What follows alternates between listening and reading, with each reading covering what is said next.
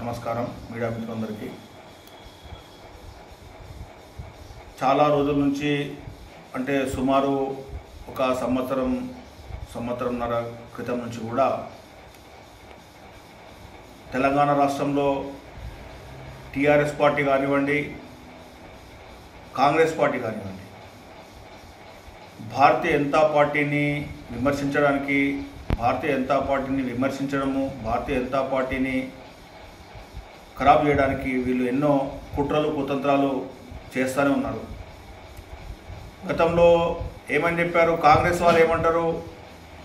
BJP TRS ఒకటి అని చెప్పేసి కాంగ్రెస్ వాళ్ళు అంటారు. అదే టీఆర్ఎస్ పార్టీ ఏమంటుంది?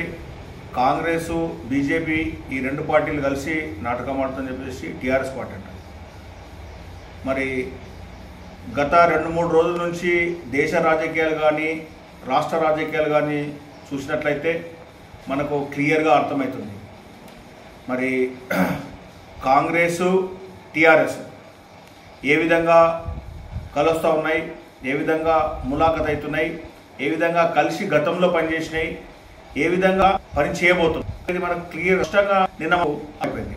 మేము నుంచి చెప్తా ఉన్నాం భారత కాంగ్రెస్ భారత్ అంటే భారతదేశంలో కాంగ్రెస్ పార్టీ అనేది ఉండకూడదు. కాంగ్రెస్ పార్టీ ఈ దేశం యొక్క అభివృద్ధికి కాంగ్రెస్ పార్టీ లేకుంటే అన్ని విధాల్లో కూడా అన్ని రంగాల్లో కూడా అభివృద్ధి చెందుతుందని చెప్పేసి భారతీయ జనతా పార్టీ మొదటి నుంచి చెప్తూనే ఉంది.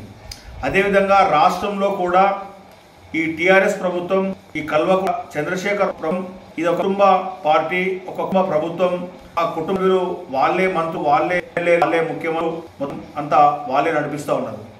కాంగ్రెస్ కూడా గాంధీ కుటుంబం గాంధీ సంబంధించిన వాళ్ళ వారసులు వాళ్ళ పిల్లలు తల్లులు మన్మోహన ఆ విధంగా గాంధీ కుటుంబం ఇక్కడ కల్వ కుటుంబం. ఇవి రెండు కూడా కుటుంబ పార్టీలు. కుటుంబ పార్టీలు ఎప్పుడు కూడా మరి అభివృద్ధికి దోహదపడవు.